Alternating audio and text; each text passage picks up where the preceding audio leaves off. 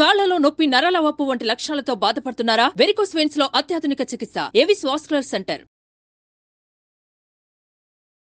అమ్మా మామూలుగా మనకి ఎప్పుడు ఒకటే అందరికీ బాగా తెలిసింది ఏంటంటే నేటి బాలలే రేపటి పౌరులు అంటారు. అంటే కల్మషం తెలియని పిల్లలు వాళ్ళకి ఏమీ తెలియదని అనుకోవడం అంత మూర్ఖత్వం ఏది ఉండదు అని కర్నూలు జిల్లా నంద్యాలలో జరిగిన నంద్యాల వైపు జరిగిన ఘటన నిజంగా ఎంత సిగ్గుచేటంటే అది. అంటే విద్యార్థులు క్రిమినల్స్ అయిపోతున్నారు అననీకి ఇది ఒక నిదర్శనం అనమాట వీళ్ళకేం తెలియదు ఏంటి నాకు అర్థం కాలే. ఒక ఎయిట్ ఇయర్స్ అమ్మాయి నైన్ ఇయర్స్ అమ్మాయిని ముగ్గురు టెన్త్ క్లాస్ లోపు ఉన్న పిల్లలు రేప్ చేసి చంపడం అంటే వాళ్ళను విద్యార్థులు అంటారా ఫస్ట్ థింగ్. వాళ్ళను మైనర్ల కింద వేయడం అంత వరస్ట్ థింగ్ ఇంకోటి ఉండదు. ఇన్ని తెలిసిన వాళ్ళు మైనర్లు ఎలా అవుతారమ్మా? తెలియదని మీరు ఇంకా ఏ కాలంలో ఉన్నారు. పిల్లలకి ఏం తెలియదనే కాలం లేదండి. అన్నీ తెలుసు చేసి మర్డర్ అంటే వాళ్ళని అసలు మైనర్ బాలురు అనని కూడా అసహ్యంగా ఉంది.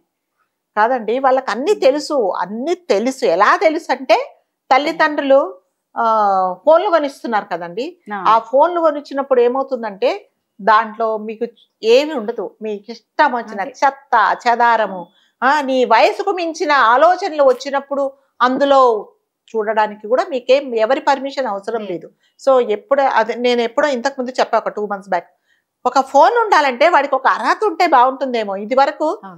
ఒక అంటే బండి ఉండాలంటే మీకు లైసెన్స్ ఉన్నట్టు?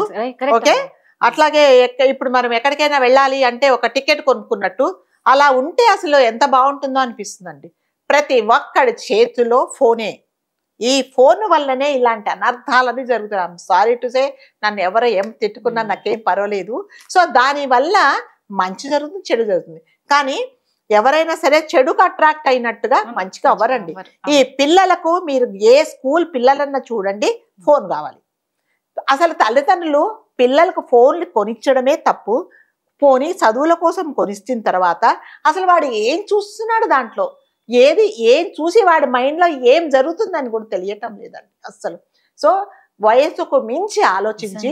ఆ ఆలోచనలు ఎలాగుంటే చదువు వల్ల నా జీవితంలో బాగుపడతాం అనే ఆలోచనలు రావండి ఎంతసేపు వచ్చి వయ అంటే ఆ అమ్మాయిని చూస్తే అంటే ఆడ అనే ఆ రెండు అక్షరాలు ఉంటే చాలు ఇర్రెస్పెక్టివ్ ఆఫ్ ఏజ్ అమ్మాయిలను అదే అమ్మాయిలు కాదు పెద్దవాళ్ళు కాదు నా వయసు కాదు మీ వయసు కాదు పుట్టిన వాళ్ళు కాదు తల్లి పక్కన పడుకున్న పొత్తిళ్ళలో ఉన్న ఆడపిల్లను కూడా చేస్తున్నారు.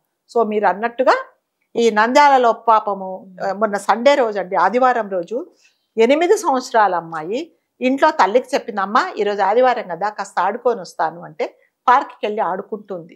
ఆ తల్లికి తెలియదు నా కూతురు ఇదే లాస్ట్ నాతో మాట్లాడటము ఈ రోజే నా కూతురికి ఈ భూమి మీద నూకలు చల్లిపోతాయని తెలియదండి నిజంగా అలాంటివి దేవుడు మనకు అట్లాంటివి ఇస్తే ఎన్ని ఆపొచ్చో మనం. భగవంతుడు అలాంటిది మనకి ఇవ్వట్లేదు. ఈ టెక్నాలజీ అలాంటి టెక్నాలజీ ఉంటే. ఎంత బాగుంటుందో నా గురించి మీరు ఏమనుకుంటున్నారు చెడుగా అంటున్నారా అవన్నీ అనుకుంటే ఎంత బాగుంటుందో తెలిస్తే అట్లీస్ట్ జరగబోయే ఉపద్రవాలు మనకు తెలిస్తే బాగుంటుంది. సో ఆ అమ్మాయి పార్క్కి వెళ్ళిందండి ఆడుకుంటుంది అంతే. ఇంకా తర్వాత కనిపించలేదు. సరే వీళ్ళు అనుకున్నారు సరే పాడుకు ఆడుకుంటుంది కదా వస్తుంది వస్తుంది పాపం. వాళ్ళు చాలా కూలీలండి వాళ్ళు. ఆ తండ్రి ఏదో పొలాలలో అదేమిటి ఎరువులు కొడతాడట. ఆ అమ్మాయి తల్లి తను పనులకు కూలీ పనులకు వెళ్తుంది. వాళ్ళకి ముగ్గురు పిల్లలు. ఈ అమ్మాయి రెండో అమ్మాయి ఒక అమ్మాయి లాస్ట్ ఒక కుర్రోడు చిన్నవాడు. వాడు కూడా ఐదారేళ్ళ కుర్రోడు. ఈ అమ్మాయి ఎనిమిది సంవత్సరాలు పెద్ద అమ్మాయి పదకొండేళ్ళ ఎంతో ఉన్నట్టుంది. సో ఆ అమ్మాయి పార్కుకి వచ్చిందండి. పార్కులో ఆడుకుంది. దాని తర్వాత మళ్ళీ కనిపించలేదు. తల్లిదండ్రులు సాయంకాలం చూశారు రాత్రి చూశారు. రాత్రి ఏడింటికి వెళ్ళి పోలీస్ స్టేషన్లో కంప్లైంట్ ఇది నంద్యాల దగ్గర ఏదో చిన్న గ్రామం అండి. ముచ్చుమర్రి గ్రామం అట. సో అందులో ఇది జరిగిందనమాట. సో ఆ రోజు నుంచి వెతుకుతూనే ఉన్నారు. పోలీస్ కంప్లైంట్ ఇచ్చారు. ఎక్కడా దొరకలేదండి.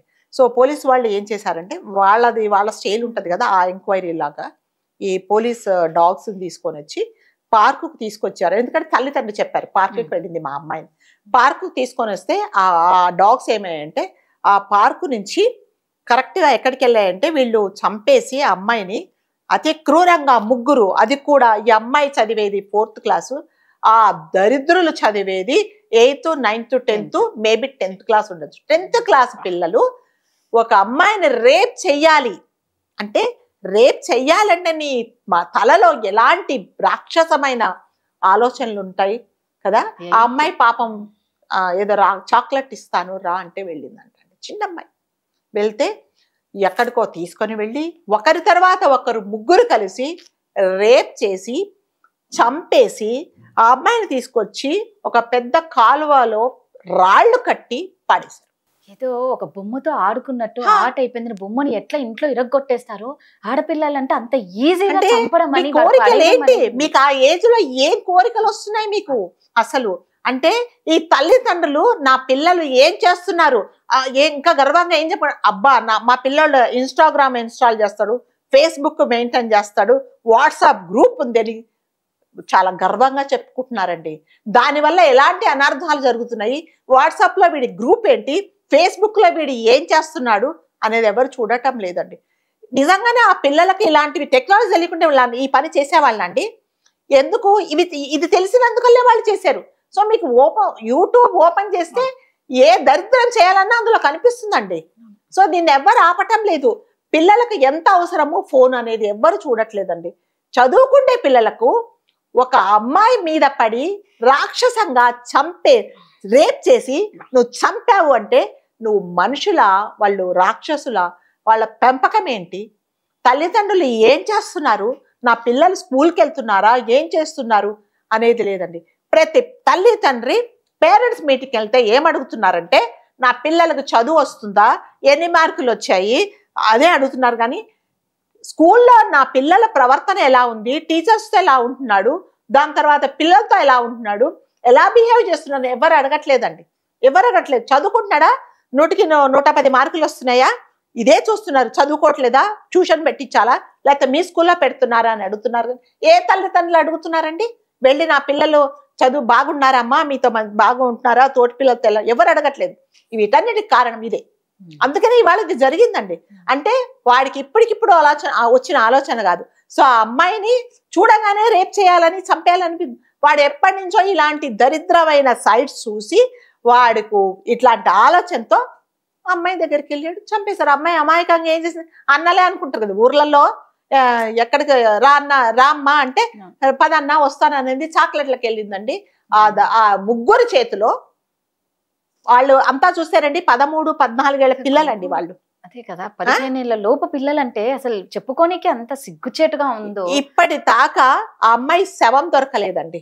సో అతను అక్కడ ఉండే ఒక ఒక పొలిటిషియన్ బైరెడ్డి ఏదో సమ్ రెడ్డి ఆయన చెప్తున్నారు శవం దొరకదు. ఎందుకంటే అక్కడ షేర్ కుక్కలని ఉంటాయంటండి నీళ్ళల్లో. సో ఆ ఆ కుక్కలే తినేసి ఉంటాయి దొరకదు అని చెప్తున్నారు. కాకపోతే తల్లిదండ్రులు ఏమంటున్నారంటే నా కూతురు చనిపోయింది. కనీసం మాకు శవాన్ని చూసుకుంటే ఇది కూడా లేదా? ఎనిమిదేళ్ళ పిల్ల మీద ముగ్గురు కామాంధులు మీద పడితే ఆ అమ్మాయి బతుకుతుందా వాళ్ళ మీద పడంగానే ఇంకొక కార్యక్రమం జరగకపోతే దాని ప్రాణం పోయి ఉంటుందండి కాదా? చెప్పండి. ఆ, మరి ఏంటండి? ఎ- ఎటు పోతుంది ఈ ప్రపంచం? ఎటు పోతుంది? ఏం చేస్తున్నాము? మన పిల్లలు ఇంట్లో ఏం చేస్తున్నారు? చదువుకుంటున్నారా? లోపల రూమ్లలో ఇంకా దరిద్రమైన పని చేస్తున్నారా? అనేది ఎవ్వరు చూడట్లేదండి. ఇష్టం వచ్చినట్టు ఫోన్లు కొనడము పక్కనోడికి ఫోన్ ఉందా నీకు కొనిస్తా. అంతే. విచ్చలవిడిగా డబ్బులు పెట్టడము ఇంకా పని చేసుకునే వాళ్ళైతే వాడు ఎక్కడ ఫోన్ కొనిగిపోతే ఇంట్లో నుంచి పారిపోతాడేమో అని బ్లాక్మెయిల్ చేస్తారని చెప్పేసి అప్పులు చేసి ఫోన్లు కొనిస్తున్నారు. ఈ వీటన్నిటికి కారణం ఏంటంటే ఫోనే. ఆ యూట్యూబ్లలో మీకు తెలియనివి అంటూ ఏమీ లేదండి. మా చిన్నప్పుడు నేను చెప్తున్నాను మాకు పెళ్ళంటే ఏమో తెలీదు పిల్లలంటే ఏమో తెలియదండి మాకు. మాకు తెలియదు నిజంగా తెలీదు. ఇప్పుడు మీరు ఎవరినన్నా అడగండి వీళ్ళకి అన్ని తెలుస్తాయి చదువు తప్ప మిగతా అన్నీ తెలుస్తాయి. సో వీటన్నిటికి కారణం ఏముందండి? ఏంటి చెప్పండి? వీటంటే తల్లిదండ్రులు కనీసం పిల్లల్ని చూడండి. నా పిల్లలు ఏం చేస్తున్నారు? ఎటు వారు ఎటు వెళ్తున్నారు? తోటి పిల్లలతో ఎలా ఉంటున్నారు నీ ఇంట్లో ఉన్నప్పుడు నీతో ఉన్నట్టు తల్లిదండ్రితో ఉన్నట్టు బయట ఉంటున్నారా? బయట ఆడపిల్లలతో అలాగే ఉంటున్నారా? అనే నీ ఆడపిల్లకు చెప్తావు అమ్మా మగపిల్లలతో జాగ్రత్త అంటావు. నీ మగపిల్లలకి ఏం చెప్తున్నావు? చెప్తున్నావా? ఎవరు చెప్తున్నారండి? బయటికి వెళ్ళినప్పుడు మీరు ఆడపిల్లలతో జాగ్రత్తగా ఉండండి. నీ ఏదన్నా ఒక ఆడపిల్లని అనే ముందు నీ తల్లి నీ చెల్లి అక్కడ ఆ ప్లేస్లో ఉంటే ఎలాగని? అని ఎవరు ఎవరు అడగటం లేదండి. సో దీనివల్లనే ఇలాంటి అనర్థాలు జరిగిపోతున్నాయి. ఇంతవరకు శవం దొరకలేదు. వాళ్ళే సరే పోలీసు వాళ్ళకి డౌట్ వచ్చి అక్కడికి పోయి ఆ పిల్లల్ని పట్టుకుంటే వాళ్ళే చెప్పారు అవును మేమే రేప్ చేసాం చంపేశాం. అంతే. చాక్లెట్ తినాలనిపించింది తిన్నాము పేపర్ విసిరేసాం. అలాగే చెప్తున్నారు. ఏ మాత్రం భయము భక్తి ఏం లేదు. మళ్ళీ ఇప్పుడు ఏం కన్సిడర్ చేస్తారు? చిన్నవాళ్ళు మైనర్స్ తెలియకుండా చేశారు. వాళ్ళకి తెలియకుండా అనడం అంత దారుణం లేదు తెలియకుండా ఏమి తీసి పడేయాలి. నో నో తెలియకుండా ఏం. తెలియకుండా ఏం చేస్తారంటే చెప్పదెబ్బ కొడతారు. చాక్లెట్ అన్నా చాక్లెట్. చాక్లెట్ కావాలని కొట్టు. అది తెలియంతనం నువ్వు తీసుకెళ్ళి రేప్ చేసి అదేం తెలియంతనం అండి ఒక రేపిస్ట్ ఒక క్రిమినల్ మైండ్ వీళ్ళకు ఉంది విద్యార్థులు అన్ని అసలు ఎంత గలీజ్గా ఉంది వీళ్ళని అంటే నిజంగా ఆడపిల్లని ఒక ఆట బొమ్మగా చూస్తున్నారు. ఫస్ట్ ఆడపిల్లల్ని గౌరవించండి మన దాంట్లో ఉంది సమాజం ఆట బొమ్మగా చూసేసి ఆట బొమ్మగా ఆడుకున్నంత సేపు ఆడుకొని కాళ్ళ చేతులు విరిచేసి పాడేస్తున్నారు. అంతే. పోనీ ఆడుకొని ఆ బొమ్మ అని చెప్పేసి మళ్ళీ పాపం అలా అనుకోవట్లేదండి. అలా అనుకోవట్లేదు. కాళ్ళు చేతులు విరిచేసి ఇంకా వాళ్ళ రాక్షసత్వంతో చూపేసి మెడ తిప్పేసి పక్కన మాడేస్తున్నారు సో వీటన్నిటికి కారణం ఏంటంటే తల్లిదండ్రులే తల్లిదండ్రులు నీ పిల్లలు ఏం చేస్తున్నారో చూసుకోండి. వాళ్ళు ఎంత ఏ ఏ- ఎటువంటి యాంటీ సొసైటీ యాక్టివిటీ చేస్తున్నారో చూడండి. బయట ఆడపిల్లలతో ఎలా ఉంటున్నారో చూడండి. వాళ్ళకి కనీసం ఒక రోజు కూర్చోబెట్టి ఏమైనా టైం ఉండదు. తల్లిదండ్రులకు టైం ఉండదు. ఎవరు యూట్యూబ్లు వాళ్ళు చూసుకుంటారు ఎవరి కిట్టి పాటలకు వాళ్ళు వెళ్తారు ఎవరి పాటలకు వాళ్ళు వెళ్తారు. ఇంకెక్కడ ఉంటుందండి టైం పిల్లలకు చెప్పుకోవడానికి ఏమి ఉండదు ఏమని అంటే పెద్ద ప్రిస్టేజ్గా మేము చాలా బిజీ అని చెప్తారు. ఏం బిజీ నీ పిల్లలను నువ్వు చూసుకోలేని బిజీ ఏం బిజీ నువ్వు వాళ్ళని కనేసి రోడ్డు మీద వదిలేస్తే ఇష్టం వచ్చినట్టు బిహేవ్ చేస్తున్నారు వాళ్ళు. వాళ్ళని కంట్రోల్ చేయడానికి ఎవరూ లేరండి. సో వీళ్ళందరూ తల్లిదండ్రులే. ప్రతి దానికి ప్రతి దానికి తల్లి తండ్రే కారణం. మరి ముఖ్యంగా తల్లి కారణం. ఏం చేస్తున్నారు నీ పిల్లలు అనేది ప్రతిరోజు ఒక్కసారి అబ్జర్వ్ చేయి. ప్రతిరోజు కూర్చోబెట్టి ఒక మంచి మాట చెప్పు. నీ కిట్టి పార్టీలు కొన్ని మానేసేయి. పిల్లల పక్కన కూర్చో ఇది కాదు ఇది మంచి ఇది చెడు అని చెప్పు. అప్పుడు కానీ పిల్లలు బాగుపడరండి వాళ్ళని పిల్లలు అనొద్దు మీరు పిల్లలే కాదండి. వాళ్ళు అన్నీ తెలుసండి పిల్లలకి. వీళ్ళు పిల్లలేంది బాబోయ్. సో అంటే ఐఎమ్ సారీ నేను కొంచెం ఎమోషనల్గా మాట్లాడాను. ఎందుకంటే ఇలాంటివి చూస్తే. కడుపులో చాలా రగిలిపోతుందండి. ఎన్ని మాట్లాడతాం ఎన్ని వీడియోస్ చేస్తాం దీని మీద? ఎక్కడ ఒక స్టాప్ వస్తుంది ఎక్కడ ఫుల్ స్టాప్ పెడుతున్నాము పెట్టట్లేదండి. ప్రతిరోజు మొన్న ఒకటి ఈ రోజు ఒకటి రేపు ఒకటి సెకండ్ సెకండ్ ఒకటి వస్తూనే వస్తూనే ఉన్నాయి. ఎక్కడ ఆపుతున్నారు? ఎవరు మారుతున్నారు చెప్పండి? ఎవరు పోలీసు వాళ్ళు మారట్లేదు అదే వాళ్ళ వాళ్ళ తరపున వకాలతా పులుచుకొని వాదించే వాళ్ళు మారట్లేదు? వీళ్ళు మారట్లేదు. వీళ్ళకి ఎలా అయిందంటే ఇది వరకు చెప్పినట్టు జైలే కదా వెళ్తాం వెళ్ళిపోతున్నారు.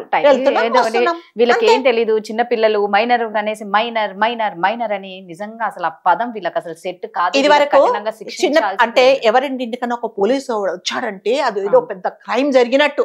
ఒక- ఒకవేళ మనకు పోలీస్ ఫ్యామిలీ ఫ్రెండ్ ఉన్నా కూడా వీళ్ళ ఇంట్లో ఏదో జరిగిందని చుట్టుపక్కల గుసగుసలు మాట్లాడుకుంటారు ఇప్పుడు ఏమీ లేదండి. పోలీస్ స్టేషన్కి వెళ్ళడం అంటే వాడేదో ఫారిన్ ట్రిప్ లకి వెళ్ళి వెళ్ళినట్టు వెళ్ళి వస్తున్నారు అనమాట డబ్బులు ఇప్పుడు పోనీ వీళ్ళు వీడి ఏజ్ వాళ్ళు అంటే వాళ్ళు కూడా అదే క్యాప్ వాళ్ళ ఫైనాన్షియల్ పొజిషన్ కూడా అంతే.